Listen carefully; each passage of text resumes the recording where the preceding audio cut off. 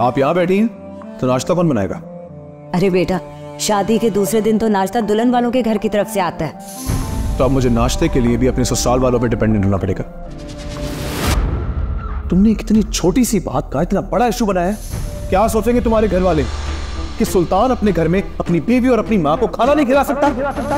Aunty परेशान हो रही थी मैंने इसीलिए मैसेज कर दिया। बस आज के बाद ऐसी फजूल हरकत दोबारा ना दोबारा ना